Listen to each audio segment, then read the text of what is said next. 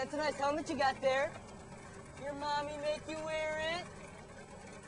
What's the matter? Scared you're gonna fall? You need some training wheels too? Hey, helmet boy! My sister's got a helmet like that. Maybe you should wear a dress just like her.